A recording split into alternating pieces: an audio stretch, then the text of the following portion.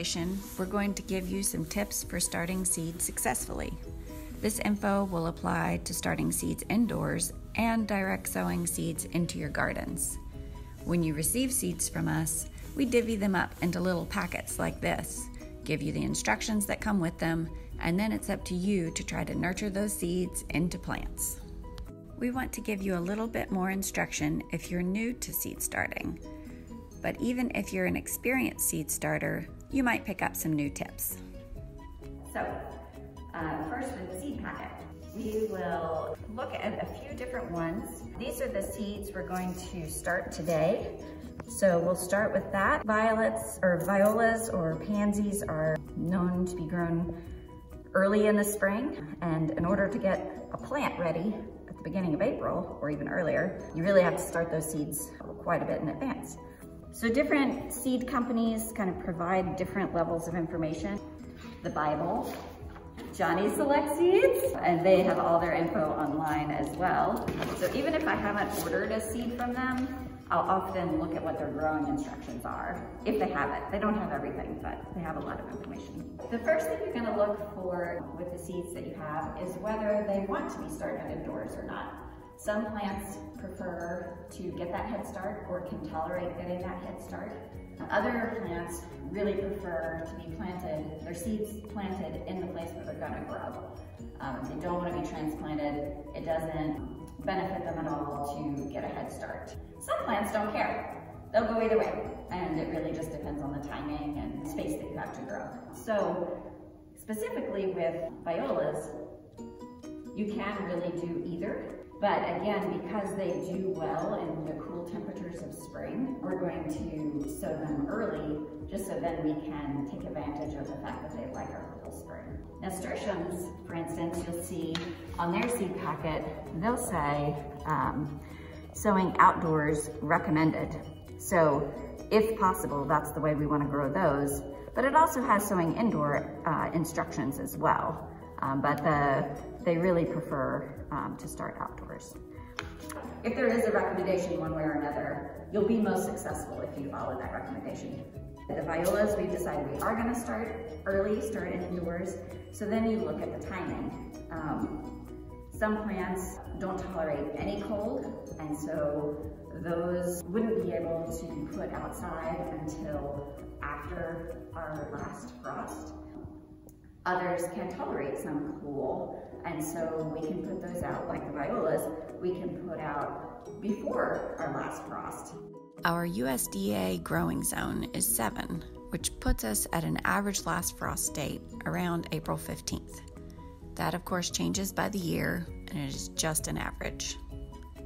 So uh, the violas in particular recommend starting 10 to 12 weeks prior to the last hard frost. So if we think last hard frost is around April 15th and you count back, um, that'll give you when you can start these. As typical, Baker Creek doesn't really have that specificity of information, just too bad. And then our, our favorite, Johnny's, says to sow 8 to 12 weeks before planting out. And transplants can go out when light frost is still possible. So we have kind of three pieces of information that we can kind of piece together to figure out when to start these and then when to put them out. We decided we're growing indoors, we figured out when. Now we actually have to look at the seeds and how to put them in the soil and how to make that, you know, how to make it work. So a key piece of information there is the depth.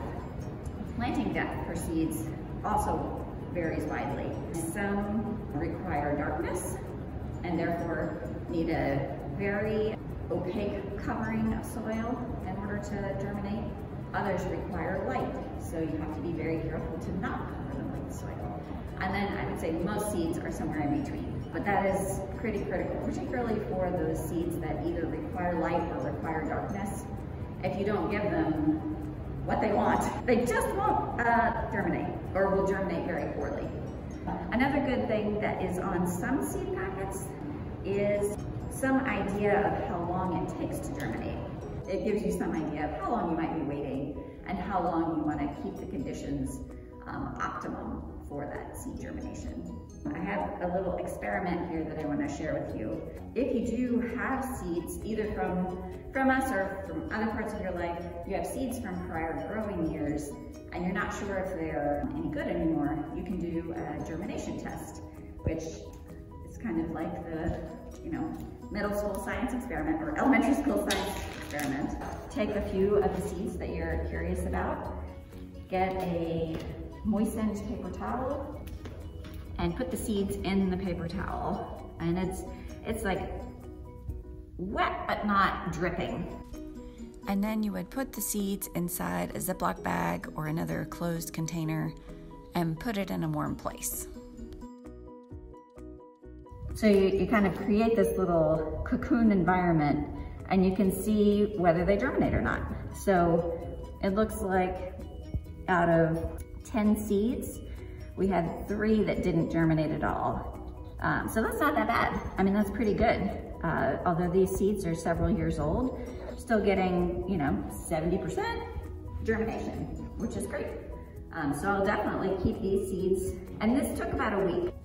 So that's how long it took to get results. Although if I look back at the seed packets for some of the ones that didn't germinate yet, I might find that actually they typically take 10 to 20 days to germinate.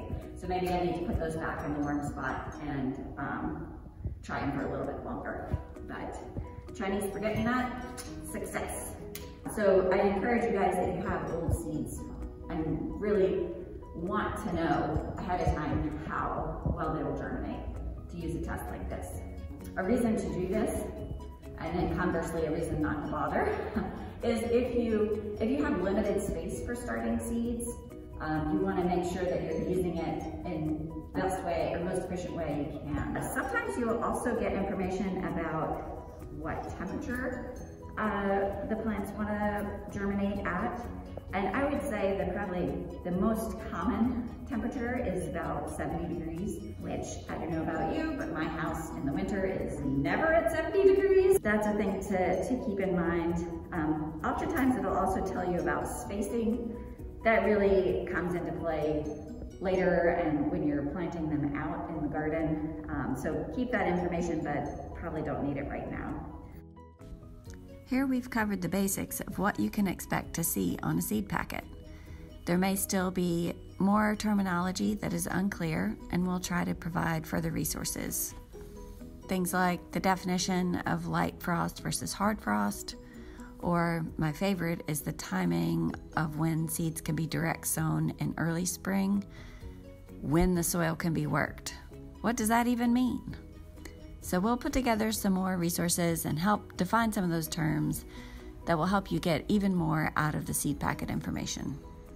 So the seeds you'll get from us um, will be individually packed. Uh, we break up the, the bigger seed packs into smaller little portions. And then we include growing instructions, a copy of the, um, the seed pack that the the seeds came from so that you know the variety and all of this information about growing that we've just talked about. Um, and as I said uh, before, the if this seed packet that came with these seeds doesn't have all the information we talked about, get online and I would try Johnny's first and then try some other seed companies to see if you can get, get all of those pieces of information. Thanks for listening. Let's go get planting.